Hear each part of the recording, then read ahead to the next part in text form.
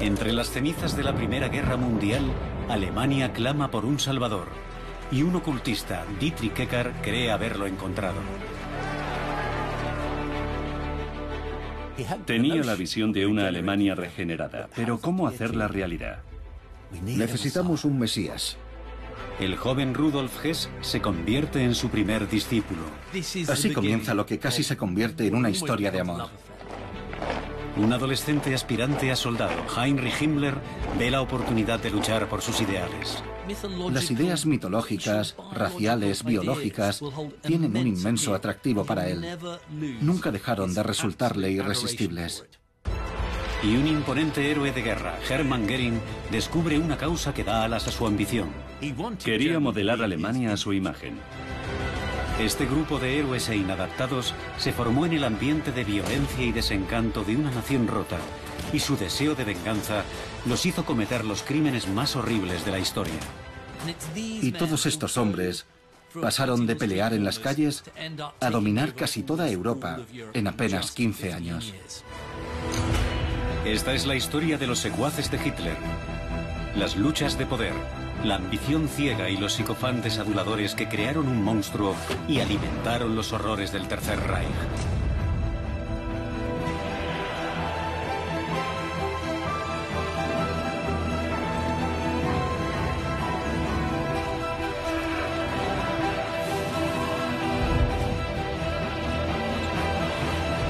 El círculo maléfico de Hitler.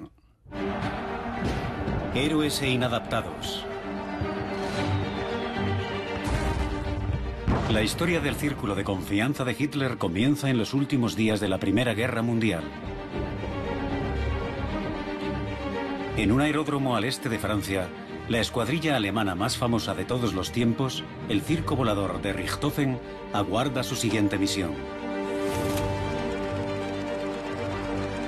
Siete meses atrás habían perdido a su legendario líder, Manfred von Richthofen, el Barón Rojo.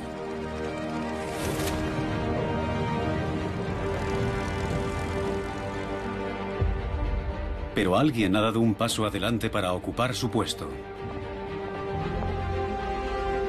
Es un as de la aviación llamado Hermann Goering. Goering es un héroe nacional.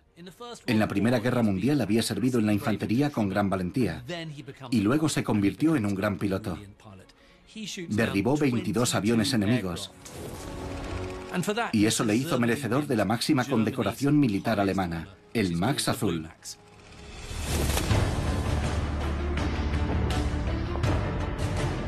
Goering en sus años jóvenes era muy apuesto. Además era un hombre con principios, arrojado y valiente. Es una figura realmente impresionante, gracioso, ingenioso, un líder natural. De esos que si están en una habitación y hay 20 personas, enseguida están diciendo a las otras 19 qué hay que hacer.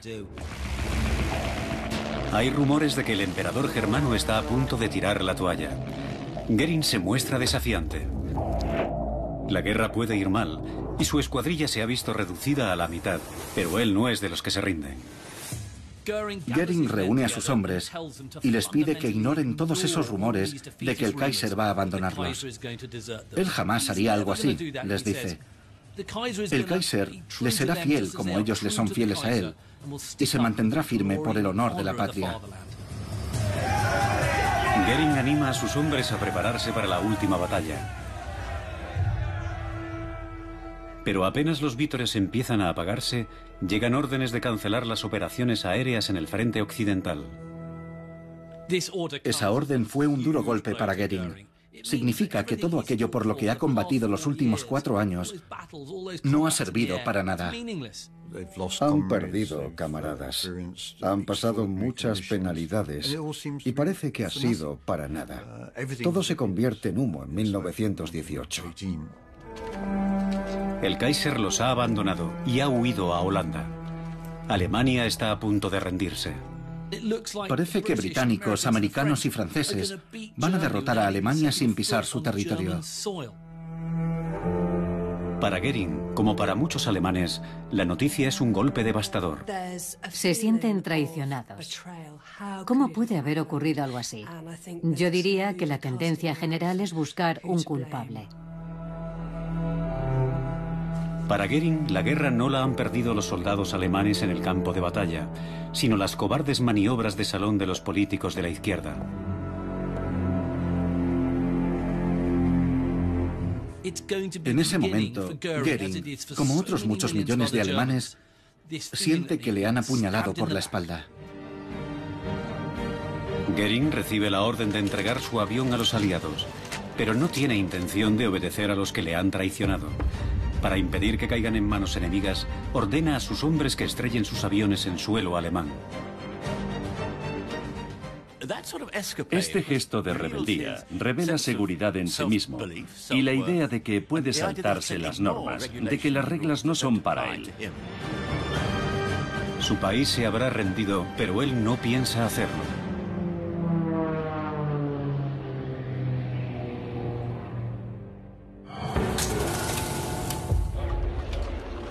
Pero la Alemania a la que vuelve Goering es una nación en crisis. Cuando regresaron las tropas, reinaba un caos total en el país. Había millones de desempleados y una gran inestabilidad política y económica. Hay pobreza y hambre por todas partes. La ley y el orden han desaparecido y una revolución socialista sacude el país. Los intelectuales alemanes están divididos entre la extrema izquierda y una derecha radical. En el sur de Alemania, Múnich, la capital de Baviera, es un semillero de ideas extremistas. Entre la élite derechista de la ciudad destaca un poeta y dramaturgo bávaro de 50 años, Dietrich Eckart. El nombre de Dietrich Eckart no se suele asociar al movimiento nazi hoy en día, pero de hecho es una de sus figuras más importantes, porque es él quien pone en movimiento esta fuerza política. Eckart tiene fama de bebedor, pero obtuvo éxito y fortuna antes de la guerra, y es un hombre rico y bien conectado. Es un individuo oculto y un poeta conocido, capaz de expresar sus opiniones con claridad. Pero sus puntos de vista son los de la extrema derecha. Y acorde con los tiempos, su panfleto Auf gut Deutsch, o en buen alemán, es una diatriba violentamente racista y antijudía. Eckhart también tiene contactos con un grupo ocultista secreto de extrema derecha, la Sociedad Thule. La sociedad Thule estaba formada por un grupo de chiflados. Creían que existía una raza, la de los arios, dotada de una belleza y una fuerza casi sobrehumana, que procedían de la Atlántida.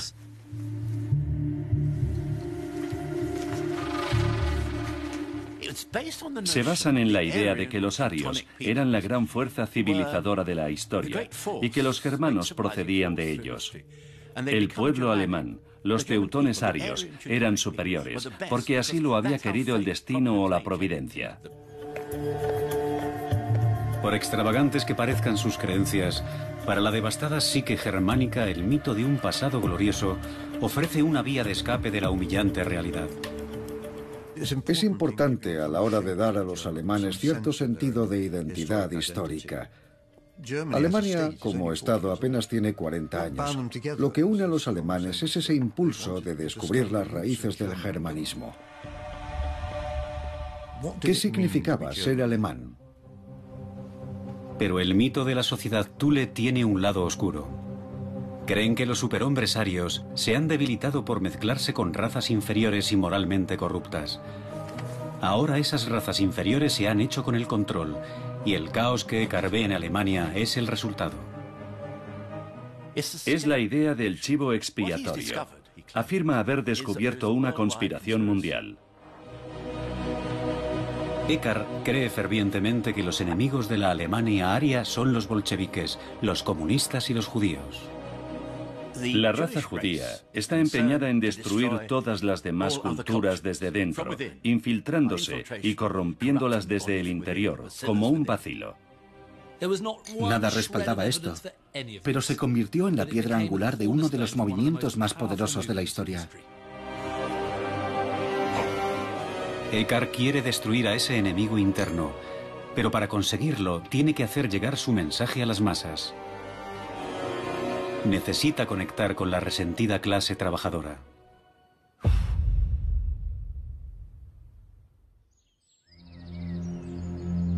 Mientras tanto, disuelta su escuadrilla, Hermann Goering regresa a Múnich. Vuelve de la guerra convertido en un héroe a ojos de muchos, pero siente un profundo resentimiento, rabia y frustración, porque después de tantos esfuerzos que deberían haber llevado a Alemania a la victoria, ha sufrido la más humillante derrota. Y Goering prueba personalmente el sabor de la humillación. La violencia callejera es habitual y los oficiales desmovilizados como Goering son los principales objetivos de las violentas bandas socialistas. Sufre el ataque de unos matones que intentan arrancarle las insignias militares de su uniforme. No es la violencia física, sino la imperdonable afrenta al uniforme lo que le marcará para siempre. Lo que aumenta la amargura de Goering es el hecho de que su uniforme y todas las medallas que ha ganado ya no son símbolos que imponen respeto. Debía resultarle incomprensible. Habría sido impensable pocos meses antes. ¿Así recibían a hombres como él? Incapaz de encontrar trabajo en Múnich, el as de la aviación se ve obligado a sobrevivir como piloto acrobático. A principios de 1919 huye de Alemania. Esa necesidad de huir del caos se convertirá en una constante en su carrera.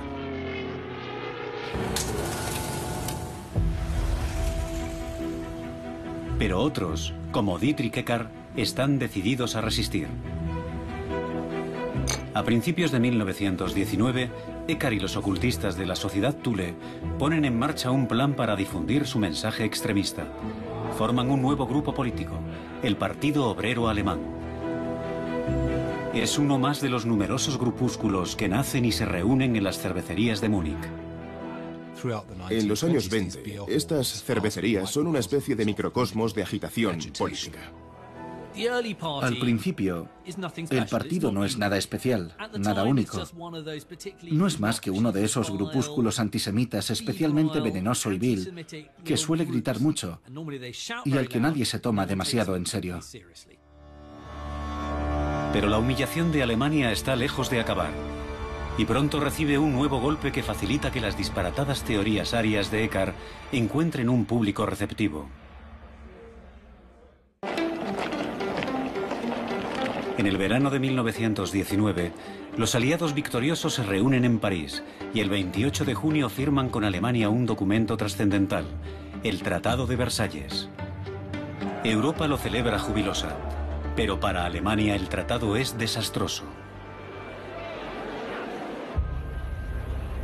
Impone compensaciones y reparaciones por la Primera Guerra Mundial. Nadie calcula el sufrimiento que va a suponer para el pueblo alemán las exigencias del Tratado de Versalles. Alemania tiene que pagar el equivalente a 860 mil millones de dólares actuales. Una quinta parte de su industria pasa a manos de los aliados y les arrebatan todas sus colonias de ultramar.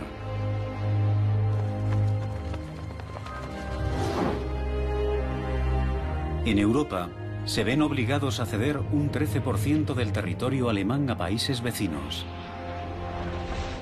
Casi 7 millones de alemanes pierden su ciudadanía y se ven forzados a integrarse en naciones como Polonia y Checoslovaquia. Los nacionalistas como Dietrich Eckart simplemente no podían aceptar que Alemania recibiese ese trato. Pensaban que era una gran humillación nacional. La otrora orgullosa Alemania de Eckart, la imparable locomotora industrial de Europa, está siendo despedazada. En agosto de 1919 se constituye un nuevo gobierno democrático, la República de Weimar, diseñado para sustituir al régimen autocrático del Kaiser. Pero para Eckart es un gobierno débil, en el que predominan los judíos y los liberales. Está decidido a hacerles frente con su partido, pero para ello necesita a un hombre capaz de hablar al pueblo, un líder inspirador. La palabra Mesías es un término que Eckhart usa más de una vez en sus escritos. Tenía la visión de una Alemania regenerada, pero ¿cómo hacerla realidad? Necesitaba un Mesías.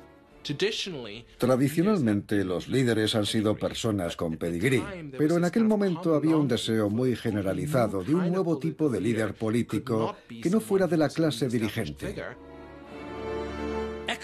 Eckhart escribe en 1918 un poema en el que describe a una figura que llama el sin nombre o el grande, que es un simple soldado alemán de ojos de fuego que salvará al pueblo alemán.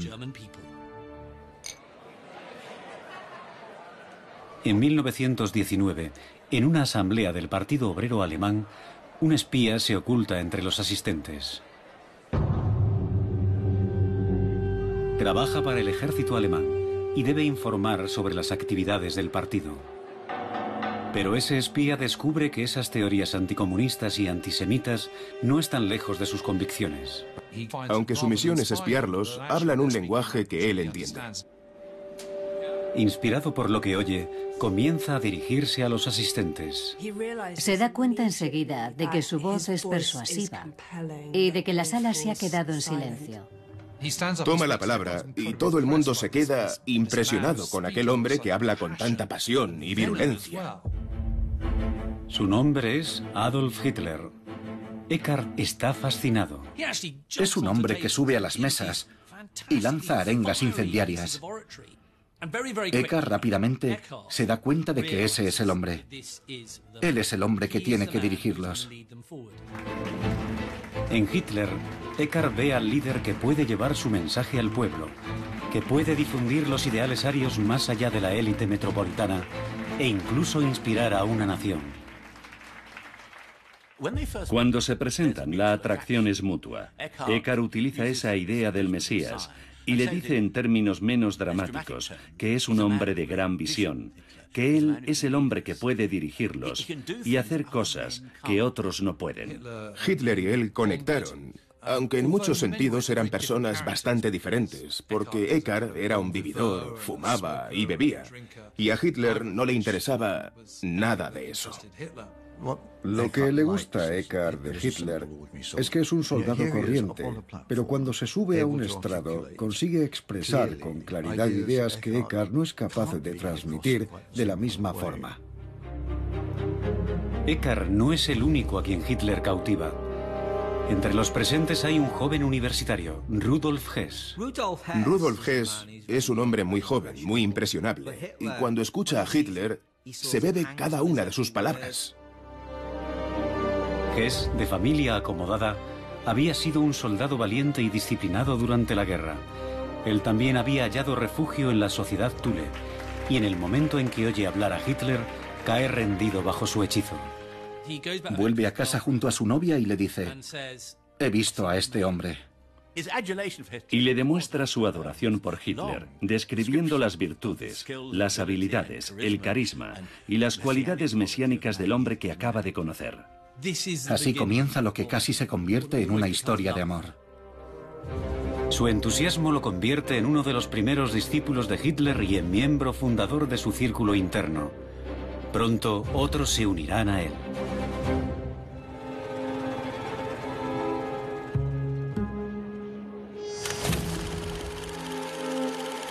Entre ellos hay un problemático joven de 19 años. Se llama Heinrich Himmler. Himmler había cumplido 18 años en los últimos días de la Primera Guerra Mundial y ansiaba probar su valía como soldado, pero era demasiado tarde. Una de las frustraciones de Himmler es que durante la guerra era demasiado joven para luchar, y para él es una gran frustración. Así que oculta una ambición militar frustrada. Himmler, escritor compulsivo de diarios y coleccionista de sellos, fue un niño enfermizo. Himmler es un joven bastante raro. No es precisamente sociable. Yo creo que está un tanto reprimido sexualmente. Tenía un profundo complejo de inferioridad que intentaba compensar mostrándose muy agresivo y muy destructivo en su trato con la gente. Ansioso por mantenerlo al margen de problemas, su padre le hizo estudiar agricultura en la Universidad Técnica de Múnich. Pero Himmler tiene las mismas opiniones que los ocultistas Eckart y Hess, y sus ideas sobre la agricultura son muy diferentes de las de sus compañeros de estudios. Himmler es una figura misteriosa en muchos sentidos. Le encantaban los misterios, lo oculto, las leyendas. Estaba obsesionado con el concepto de Blut und Boden, sangre y tierra. La sociedad alemana volverá a sus raíces, volkisch, algo así como populares. Se convertirá en una economía más agrícola y volverá a ser una raza aria biológicamente pura. Así Alemania tendrá una fuerza extraordinaria y podrá forjar un imperio. Para un joven como Himmler, este tipo de ideas casi mitológicas, raciales, biológicas, tienen un inmenso atractivo y siempre fueron irresistibles para él. Muy pronto, este aspirante a soldado conocerá al hombre que va a hacer realidad sus sueños y que le brindará la oportunidad de combatir por sus ideales. Pero de momento, aún está muy lejos de lo que llegará a ser. Aunque Eckhart cree que Hitler es el redentor que había profetizado, reconoce que el joven agitador es un diamante en bruto al que hay que pulir. Eckhart se convierte, por así decirlo, en el mentor de Hitler. Eckhart viste a Hitler como un hombre respetable. Le consigue una camisa, una corbata, un traje y una buena gabardina y a continuación se lo presenta a posibles padrinos adinerados y les dice, mirad, él es el hombre que un día liberará y dirigirá a Alemania. Pero con frecuencia para Eckhart, ese diamante es difícil de pulir. Sí, podías ponerle un traje y una corbata y peinarlo un poco. Pero cuando asistía a cócteles elegantes, empezaba a lanzar todo tipo de improperios contra los judíos. Y eso asustaba un poco a sus anfitriones. Además, no paraba de comer, porque obviamente tenía hambre y era pobre. Era un hombre sin modales. Eckhart fue refinando a Hitler y a pesar de los 20 años de diferencia que había entre ellos, se convirtieron en amigos íntimos. La relación es la de maestro y alumno, incluso la de padre e hijo. Hay un sentimiento común que los hermana. Hitler se convierte en jefe de propaganda del partido y los dos hombres se ponen a trabajar en las teorías y creencias del movimiento. Forman un equipo formidable. Hitler y Eckhart se complementaban a la perfección. Aunque Eckhart no era un buen orador, sí era un buen escritor, un gran teórico, mientras que las ideas de Hitler eran un tanto inconexas y no escribía bien. Así que Eckhart tomaba las palabras de Hitler, las pulía, las ordenaba y se las devolvía, para que las recitara con aquella fantástica y poderosa oratoria que arrastraba a las masas. Y funcionaba a la perfección. Los nazis prometen recuperar los territorios robados y poner fin a las reparaciones impuestas por los aliados. Lo mejor es que son ideas muy simples, fáciles de recordar y que generan un gran rendimiento político. Eckhart elige su grito de guerra, Deutschland erwache, Alemania despierta. El partido adopta un nuevo emblema al que los místicos de la sociedad Thule atribuyen un remoto originario, la esvástica, y el movimiento se rebautiza como Partido Nacional Socialista Obrero Alemán. Ha nacido el Partido Nazi.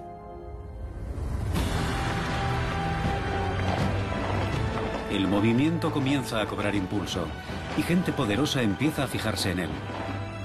Hombres como el capitán Ernst Röhm. Para los nazis, Röhm oficial del ejército alemán en activo, puede ser una figura clave, ya que tiene a su alcance hombres y armas. Rom era un soldado condecorado en la Primera Guerra Mundial. Había recibido numerosas medallas al valor. Le gustaba la guerra, el ejército, el combate y el conflicto. Creía que solo se puede alcanzar un fin usando la violencia. Pero a consecuencia del Tratado de Versalles, el ejército de Rom se había reducido a apenas 100.000 hombres. Los aliados estaban requisando y destruyendo su equipo. El ejército elige a Rom para formar en secreto grupos paramilitares extraoficiales y almacenar armamento. Rom traficaba con armas, por lo que le pusieron el apodo de el rey de las ametralladoras. Utilizaba el miedo y la violencia para hacer su trabajo. Es un personaje desagradable, un matón, y además es adicto al poder y a la autoridad. Rom se ve atraído inevitablemente por el mensaje nazi y por su carismático portavoz. Pero en su relación con Hitler no hay ninguna admiración. Para él, Hitler solo es un medio para alcanzar sus fines. No olvidemos que es un oficial, se cree superior a Hitler y piensa que éste debería estar a sus órdenes. En sus primeros tiempos, para el partido nazi, Hitler no era su líder, sino su pregonero. Era un hombre que podía conseguir muchos apoyos y para alguien como Rom podía resultar muy útil. Rom se une al movimiento, apoya a Hitler económicamente y le presenta a militares patriotas de alta graduación. El partido está creciendo, pero si quieren cambiar las cosas, tienen que hacer algo más que reunirse en las cervecerías. En diciembre de 1920, Ekar y Rom ven la oportunidad de llevar el mensaje nazi a las calles. Recaudan fondos para comprar el fracasado semanario de la sociedad Thule. Es su primera incursión en la propaganda de masas una herramienta que los nazis aprenderán a utilizar con eficacia. El periódico Volkische Beobachter es un ejemplo de cómo utilizan los medios de comunicación para difundir su mensaje. Cualquier editor de prensa actual reconocería que es una herramienta muy poderosa. En ese momento Hitler no es más que el portavoz del partido. Pero Eckart, nuevo editor del periódico, no pierde el tiempo a la hora de vender su visión de Hitler como el Mesías de Alemania. Hitler no se ve como un Mesías, quizás un Juan Bautista. Él piensa que en algún momento aparecerá el Mesías. Pero Eckart se refiere a Hitler como der Grossen, el grande que va a llegar, atribuyéndole los poderes místicos de un caudillo teutónico ario. Así atrapa la imaginación de sus lectores, pero también alimenta el ego de Hitler. Animado por hombres como Eckhart, piensa que quizá es el hombre que va a salvar a Alemania. Así que Hitler empezó a verse a sí mismo como alguien dotado de poderes casi divinos.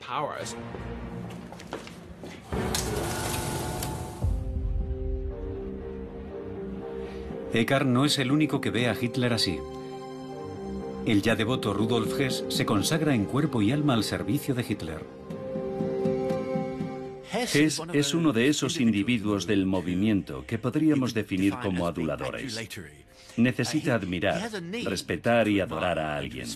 Parece que Hitler se mostraba un tanto frío con él, pero eso no desanima a Hess, lo hace más atractivo, le da un tinte místico. Hess está casi enamorado de Hitler. Se siente cautivado por él. Es como un perrito afectuoso con él. Sabe que siempre va a vivir a su sombra y quiere vivir a la sombra de este hombre. Poco después de la publicación del artículo de Eckhart, empieza a dirigirse a Hitler como el líder, der Führer. Y el Führer de Hess está a punto de transformarse.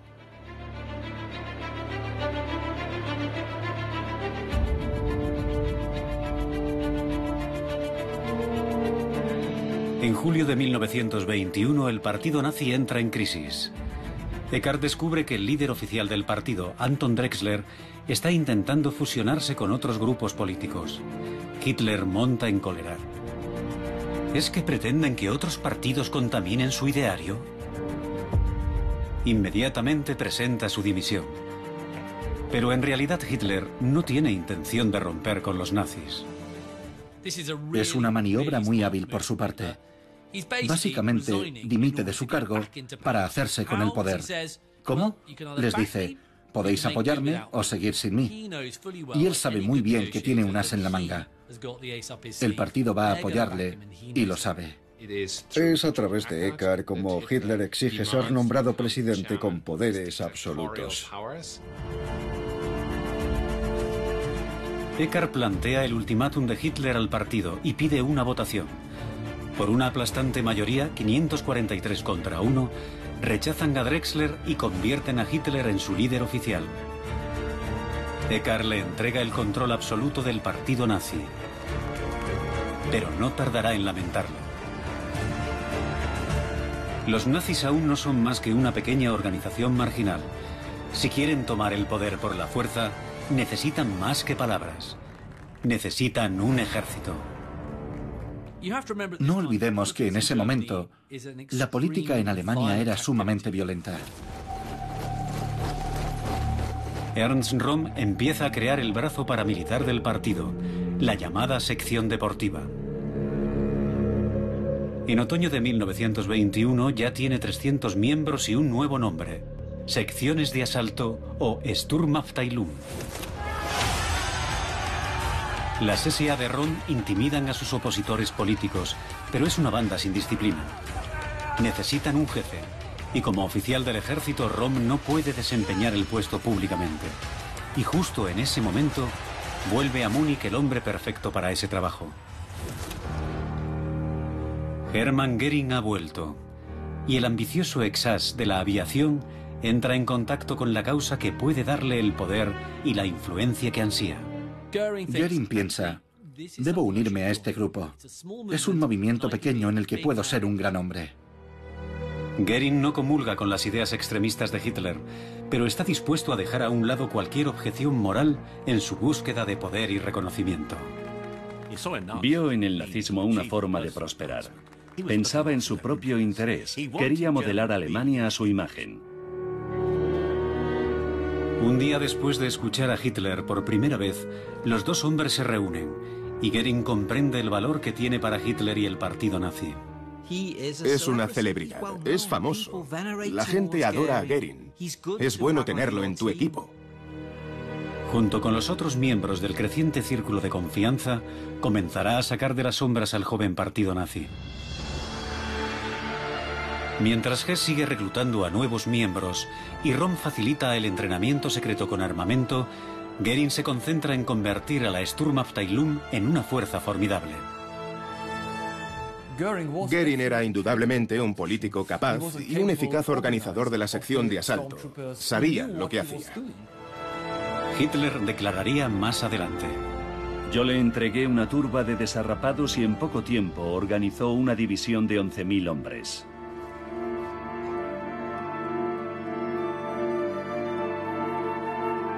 Pero mientras Goering, Rom y Hess ascienden, Dietrich Eckart se ve cada vez más aislado del círculo más próximo a Hitler. De hecho, pensaba que Eckart podía convertirse en un lastre como operador político. Bebe demasiado, muchas ideas y cero acción. Simplemente no era lo bastante revolucionario. Hitler se está cansando de su mentor y Eckart se refugia aún más en la bebida. Eckart empieza a tener serias dudas. De hecho, acusa a Hitler de tener delirios mesiánicos, lo que resulta irónico, porque siempre había estado buscando un Mesías. Y ahora que lo tiene, no es como él quería. Hitler tacha a Eckart de fatalista, pedante y pesimista. Creo que Eckart despierta de repente y se dice, he creado un monstruo político que no voy a poder controlar. Ernst Röhm también se enfrenta a una crisis. Ha empezado a llamar la atención de sus superiores en el ejército, preocupados por su creciente implicación en la política de extrema derecha. Le dan un ultimátum. Debe elegir entre su carrera militar y el partido nazi. Röhm tiene que decidir si se queda en el ejército para contribuir a restaurar la grandeza del ejército alemán o si une su destino al de los nazis. Para él es una decisión muy difícil. Por ahora, Rom sigue reclutando voluntarios para su milicia y un joven idealista particularmente entusiasta despierta su interés. Es el aspirante a soldado Heinrich Himmler. Gracias a Rom, Himmler puede llevar el uniforme. Piensa, puedo ser un soldado. Quizá de mentira en cierto sentido, pero puedo ser como un soldado y eso le atrae. Rom introduce a Himmler en el partido nazi y en agosto de 1923 se convierte en su miembro número 14.303. Al principio, permanece a la sombra de su mentor. Nada indica que se convertirá en el más sanguinario y temido antisemita de todos ellos. Todos los actores están ya en sus puestos. Solo falta que interpreten su papel. Los acontecimientos juegan a su favor, ya que Alemania está inmersa en el caos económico y la hiperinflación hunde la economía. El precio de una barra de pan pasa de 165 marcos a más de mil millones en 10 meses. La hiperinflación de 1922 y 23 tiene un efecto traumático para los alemanes. De la noche a la mañana, grandes fortunas pierden su valor. Fue un año en el que muchos alemanes no sabían qué iba a pasar. ¿Iba a hundirse todo lo que les rodeaba? ¿Quién rescataría a Alemania de la crisis? El gobierno de la Weimar no tiene más remedio que incumplir los pagos a los aliados. Como represalia, tropas francesas y belgas se apoderan de uno de los pocos activos de valor que le quedan a Alemania, el Ruhr, el corazón industrial del país. Por primera vez tropas extranjeras ocupan territorio alemán. No hay nada peor para un pueblo que una ocupación. Y para los alemanes, un pueblo muy orgulloso, es un verdadero insulto y una humillación. Para Goering y los nazis, esto es una llamada a las armas. Así que se dan las condiciones perfectas. Un colapso de la economía y la ruina de las clases medias. Creen que este es el momento. En 1923 dicen, vamos a dar el golpe. Goering sabe que el tiempo vuela y quiere entrar en acción ya. La crisis económica está afectando a las reservas del partido y las milicias de las SA están inquietas.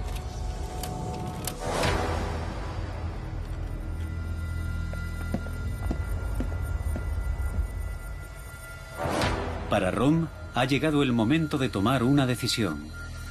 Elige abandonar el ejército y apostarlo todo al éxito de un golpe de Estado nazi. Rom anima a Hitler, insistiendo en que gran parte del ejército los apoya y no se opondrá a ellos. Todos coinciden en que ha llegado la hora de tomar el poder. Pero ¿cómo? La inspiración llega del exterior. El ultraderechista más famoso de Europa, Benito Mussolini, había tomado el poder por la fuerza en Italia meses antes. Había conseguido un enorme apoyo popular y marchó sobre Roma con una milicia de 30.000 hombres. Goering dijo, no esperemos el apoyo electoral ni el apoyo masivo del pueblo. Hay que tomar el poder como ha hecho Mussolini. Y ya lo justificaremos después. El plan es tomar primero Baviera y luego marchar contra el gobierno nacional en Berlín. El objetivo del putsch o golpe de Estado es derrocar al gobierno bávaro en Múnich y después al gobierno de toda Alemania. Así de sencillo. Baviera está en manos del jefe de policía, del comandante militar y del primer ministro estatal, Gustav von Kahr. Si consiguen poner a estos tres hombres de su parte, tendrán el apoyo de la policía y el ejército. Pero hay un problema. A diferencia de Mussolini, Hitler aún es desconocido fuera de Múnich. Para tener alguna posibilidad de triunfar, necesitan una figura provisional conocida en todo el país. Buscan el apoyo del general Erich Ludendorff, héroe de la derecha alemana y uno de los grandes jefes militares de la Primera Guerra Mundial. Ludendorff es el arquetipo del gran general prusiano y es una figura muy respetada entre los alemanes. Cuando los nazis oyen que el primer ministro von Kahr va a dar un discurso en la Burgerbraukeller, una de las grandes cervecerías de Múnich, y que los jefes de la policía y el ejército bávaro estarán con él, saben que tienen que actuar. Los nazis temen que von Kahr se les vaya a adelantar. Están convencidos de que va a declarar la independencia de Baviera de Alemania y no quieren que eso ocurra. Piensan muy bien. Hay que actuar rápido. Tenemos que hacerlo ya. Goering moviliza a las tropas de las SA. Él y dirigen el asalto de la Burgerbraukeller. Su plan es irrumpir en la reunión y capturar a los tres actores clave del golpe. Unidades de la SA bajo el mando de Romy Himmler tomarán el control de los principales edificios militares y policiales de la ciudad. Todos esperan la señal para entrar en acción. Este es el momento que Goering estaba esperando. Viste su mejor uniforme militar con el Max azul. Es un momento trascendental para él porque puede reafirmar su condición de militar. Goering piensa a lo grande. Cree que esto será la chispa que pondrá en sus manos a Alemania. Para los miembros del círculo más próximo a Hitler es el momento que esperaban. Saben que es su oportunidad de hacerse con el poder y demostrar de qué madera están hechos. Goering llega a la Burger Braukeller con 100 de sus mejores hombres de las SA armados hasta los dientes. 600 hombres rodean el edificio. Las tropas de Goering son disciplinadas y van bien uniformadas. Por eso, cuando bajan de sus camiones, la policía local cree que son unidades del ejército regular y no les cortan el paso. El engaño funciona. En el interior, como estaba previsto, están Gustav von Kahr, el jefe de la policía y el comandante militar. Goering y sus hombres irrumpen en la cervecería y montan una ametralladora Maxim en una esquina de la sala, lo que les da el control absoluto sobre todos los asistentes. Y se abren paso hasta el centro de la sala, despejando el camino a Hitler. Él entra rodeado por las SA y toma el control. Dispara al techo y llueven trozos de escayola. Hitler declara el comienzo de la Revolución Nacional Socialista. Y comienzan a negociar con el triunvirato. Hitler intenta convencer a los tres líderes para que se unan al golpe, pero se niega. Von Kahr y los otros dos no quieren saber nada. No le dicen a Hitler, te apoyamos, estamos contigo. Hitler necesita el poder de persuasión de alguien con renombre, pero el general Ludendorff no ha llegado. La figura carismática que han reclutado para que les dé brillo y autoridad no se presenta. Pistola en mano, Hitler los amenaza, pero no cede. Hitler es consciente de que no pueden empezar a disparar a la gente. Con eso no consiguen nada. Aquello está siendo un desastre. Mientras tanto, Hess busca a oponentes políticos relevantes para secuestrarlos y sacarlos de la ciudad, mientras Goering controla al público. Goering intenta mantener el control en la cervecería y decide mostrar su autoridad desabrochándose el abrigo para mostrar su Max azul. Y empezó a bromear con ellos. Les decía que estuvieran tranquilos, que tenían cerveza de sobra. Ahí es donde aparece el mejor Goering, o el peor, se podría decir. Una vez que la cervecería está controlada, Rom recibe la llamada para entrar en acción. Ordena a sus hombres que tomen el Ministerio de la Guerra bávaro. Himmler porta orgulloso la vieja bandera imperial. Dicen que siempre se situaba detrás para animar a los demás a avanzar. Puede que sea una calumnia sobre su carácter, se podría decir, pero en esta marcha era el portaestandarte. Se diría, estoy haciendo el papel de un soldado. Estoy siendo muy valiente. Ahora estoy con los hombres, con las tropas de a pie. Por toda la ciudad, las unidades de las SA se acercan a sus objetivos. En la cervecería, Goering se esfuerza por mantener la calma y las negociaciones de Hitler están en punto muerto. En un intento de dar la vuelta a la situación, lanza un apasionado discurso al público y miente diciendo que el gobierno ha accedido a apoyarles. La gente le cree y como si todo estuviera preparado aparece Ludendorff. Ludendorff obra su magia y los líderes de Baviera acceden a unirse a ellos. El golpe nazi cobra nuevas fuerzas. En las calles, la unidad de Romy Himmler toma el control del Ministerio de la Guerra y en Múnich algunas unidades del ejército y la policía se unen al levantamiento. Parece que el golpe puede triunfar. Hitler decide dejar a Goering y Ludendorff en la cervecería para comprobar cómo le va a Rom. Hitler se dirige a las barricadas donde encuentra a Rom. Entonces le abraza y le dice, hemos ganado. Ya se está formando el nuevo gobierno del Reich. En la Burger Braukeller el ambiente está más relajado. Pero mientras Goering invita a beber a sus hombres, Ludendorff comete un grave error. Carr convence a Ludendorff para que le deje marchar. Ludendorff le dijo, deme su palabra de que no se echará atrás. Von Kahr asegura a Ludendorff que no les traicionará. Pasa por delante de los hombres bebidos de Goering y se marcha. En otra cervecería de la ciudad, Dietrich Eckart, el antiguo mentor de Hitler, ignora que se está produciendo el putsch. Está claro que Eckart ha sido expulsado del círculo de confianza de Hitler. No sabe nada del golpe hasta que le llaman después de la medianoche. Recibe una llamada de un colega que le dice, ¿dónde estabas? Mira lo que ha ocurrido. La fiesta ha terminado. Cuando informan a Eckart de que han dejado marchar a Von Kahr, ve de inmediato el peligro. Sabe que Von Kahr no es de fiar y exclama, nos ha traicionado. Eckart no se equivoca. Sin perder un momento, Von Kahr saca el ejército a la calle. En un instante todo se pone en contra de los nazis. Cuando amanece al día siguiente, Goering y el resto de sus colegas no saben qué hacer.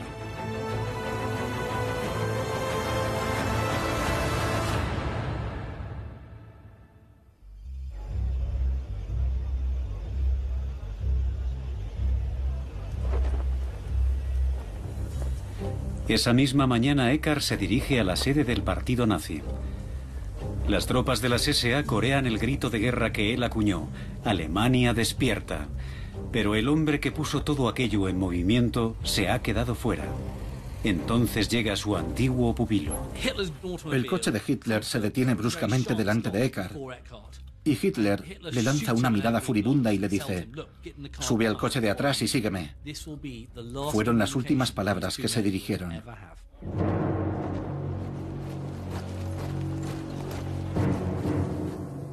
En un intento de reactivar el golpe, Ludendorff toma la iniciativa. Ludendorff reacciona y dice, hay que marchar.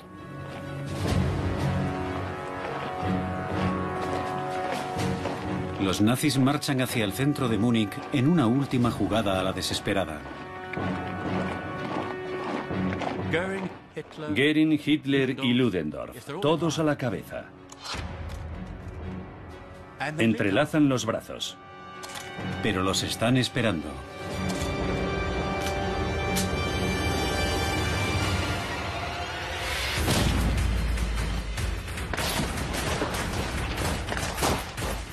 Goering recibe un disparo en una pierna.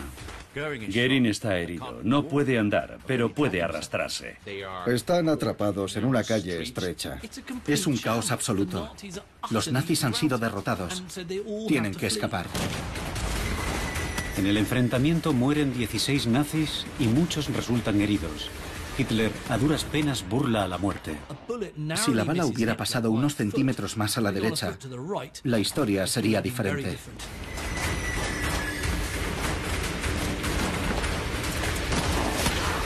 Eckart ve cómo el hombre al que señaló como el grande huye para salvar la vida. El golpe ha sido un completo desastre.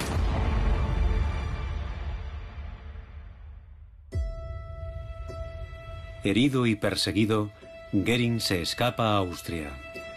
Sus sueños de gloria se han hecho pedazos.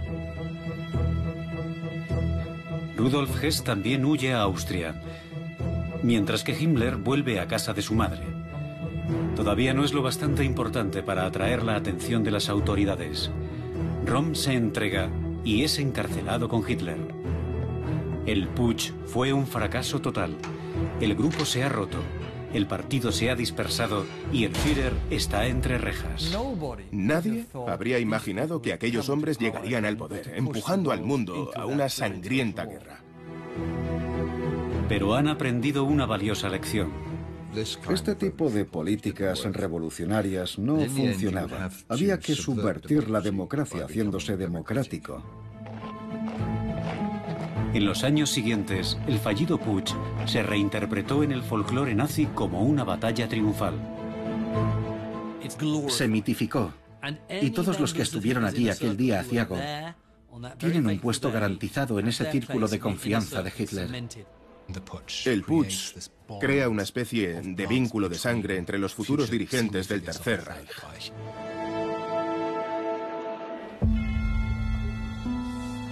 Pero Dietrich Eckart no vivirá para ver el ascenso del Tercer Reich.